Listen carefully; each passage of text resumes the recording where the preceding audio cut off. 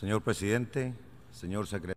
Mr. President, Secretary General, sir, ladies and gentlemen, heads of state and government, permanent representatives, delegates, I wish to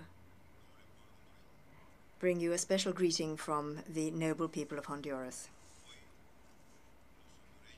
Today, we, the people of Honduras, wish to express our solidarity with our brothers in Mexico faced with the recent tragedy that has struck them. And I repeat our commitment to support you with what we can, as we are already doing. Nearly four years ago, I spoke for the first time before this assembly. Four years down the road, I look back at how Honduras has faced the major challenges in our path. And today I wish to share with you, with the world, how it is that we are building the new Honduras. Four years ago, transnational organized crime meant that Honduras was uh, a country with high levels of violence like very few countries in the world. At the end of 2013, we had 75 murders per 100,000 inhabitants. And uh, 400, uh, four years before that, um, nearly 90 per 100,000 uh, inhabitants. But in 2013, with 75 murders per 100,000 inhabitants, we had reduced this number by about 30 points. In its recent report of the um, Global Peace Institute, looking at uh, the index, we rose uh, 16 steps here. We managed also to reduce our fiscal deficit from 8% to 3% of our GNP. We have restored our economy. This year it will grow by 4.1%. Our exports have increased. Investment is rising. Our international reserves are enough for nearly six months of imports. Our national currency has been revalued, and our rate of inflation is very moderate.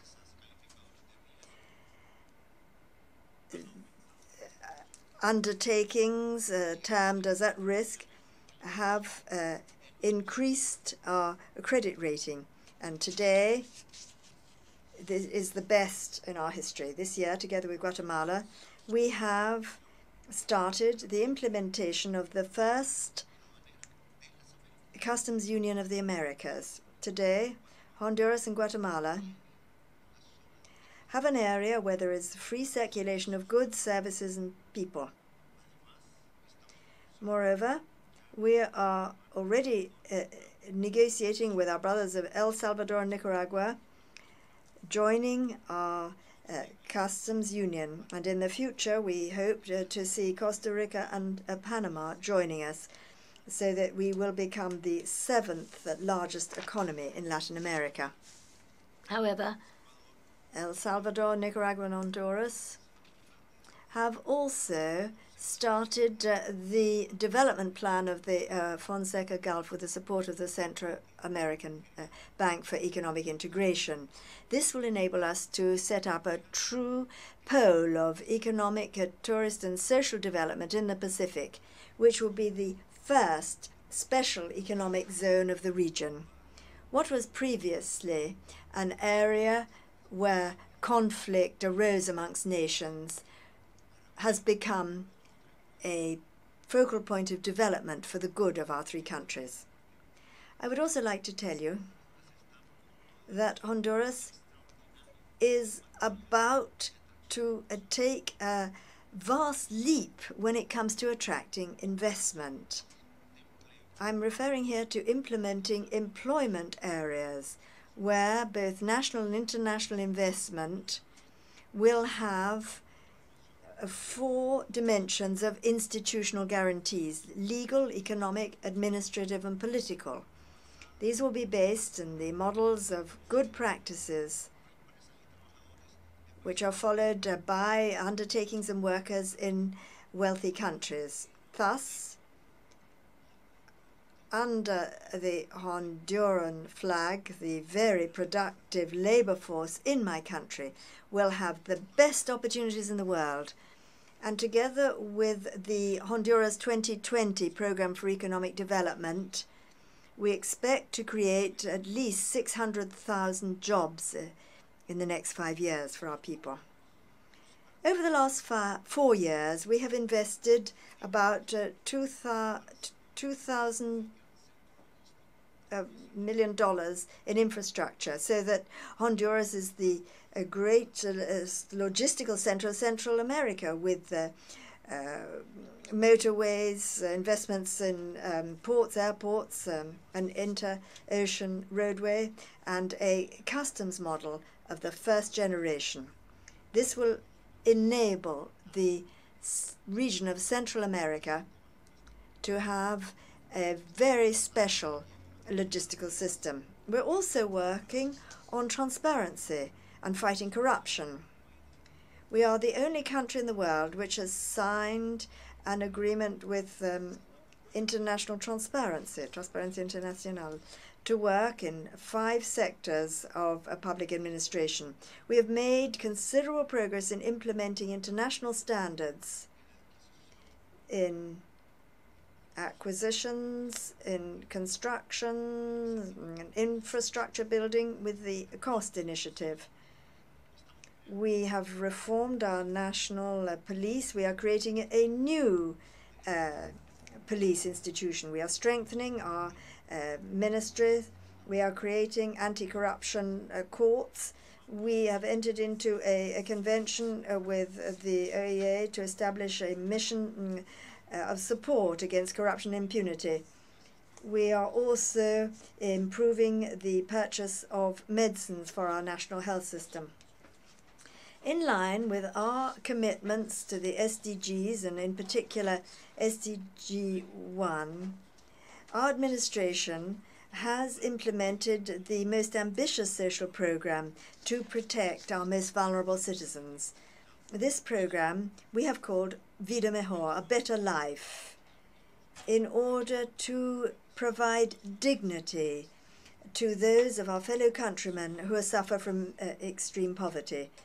And now about two and a half million participants are involved moving towards a better life. I also wish to tell you that we fully support the project to reform the United Nations promoted by the Secretary General in order to achieve the uh, objectives of the 2030 Agenda. Ladies and gentlemen, heads of state and government, our countries are facing major challenges arising from climate change, uh, from the, the nuclear threat, from poverty, organized international crime, terrorism, racism, intolerance, and uh, violations of human rights. These are challenges that we have to analyze and we have to face determinedly with absolute commitment climate change has shown itself to be merciless with uh, the tragic series of uh, tropical hurricanes and storms.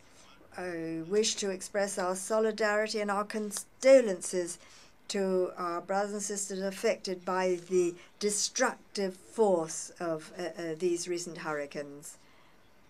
And we wish to help these countries in the Caribbean which have suffered so much destruction. Honduras will be present there for our brothers. Distinguished ladies and gentlemen, the nuclear arms race is also very serious for mankind and as is the threat of using nuclear weapons. Honduras rejects the recent uh, tests of nuclear weapons. We support the resolutions adopted by the Security Council and uh, those uh, channels which wish to see the diplomatic resolution of tension and threats to global peace. Ladies and gentlemen, permanent representatives, poverty has a priority place on the agendas of our countries as de developing countries. We have to overcome uh, those structural conditions which exclude large sectors of our society from access to goods and services which would enable them to live in a dignified fashion and provide them with opportunities for the uh, comprehensive development of people's families, of our communities, of our countries. Poverty uh, has effects in its environment it leads to internal migration and international migration with serious social consequences, the breaking up of families, separations. It generates a lack of security and violence. It causes much suffer suffering. We have to fight poverty with networks of social protection, with access to basic services of health and education, with inclusive uh, uh, credit that is uh, sound and which can provide technical assistance to avoid people being deprived of essential goods for life. However, Mr. President, mm, ladies and gentlemen delegates, we as developing countries are up against the problem of the uh, criterion that developed countries have adopted to allocate cooperation resources. What am I talking about? Just think, the criterion which is used is that of classification by means of the national income of countries in three levels high, medium, and low.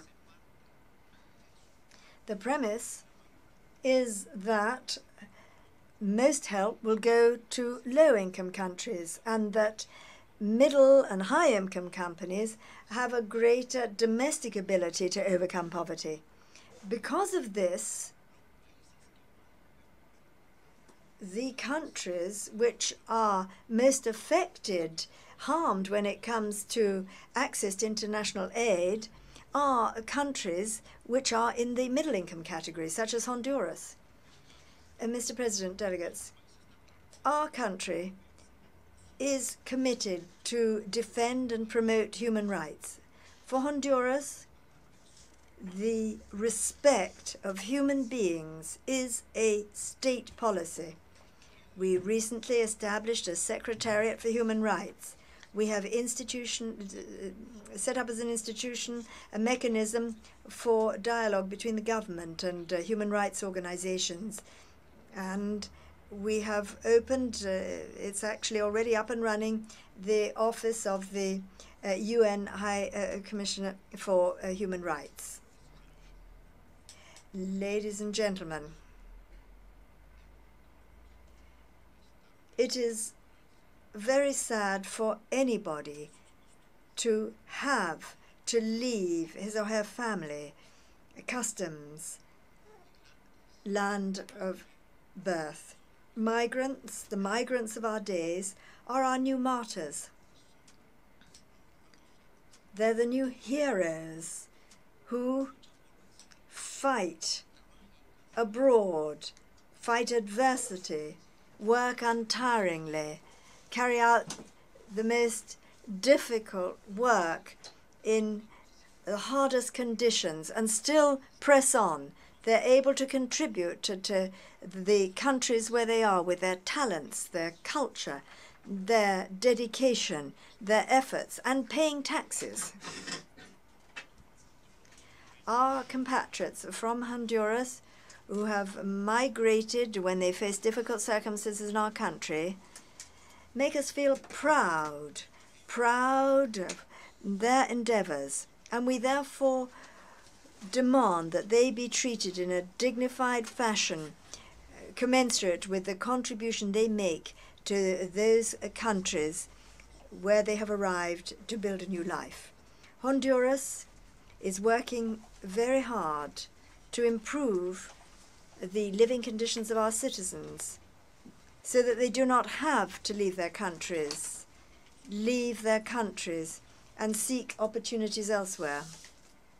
However, we are also working with our brother countries in Latin America to ensure that there be a recognition of the contribution of uh, those uh, who, for natural causes, are protected uh, in a temporary way, with temporary status, and uh, for those children who one day will leave with their country, their parents, and grow up far from uh, their motherland and start to dream of something else. We don't wish these uh, uh, dreams to be dispelled. We want the dreamers to be able to imagine a better world, to be fueled by hope so that their desires may be realized. We are working for this new world. That's what we've been doing these last four years. This is why we're here. We believe that our action will enable us to see a new sun rise on a new day. Nothing, nobody can stop us from dreaming. We will not cease to dream. Together, we can build a better world for our children and for the children of our children. Thank you very much.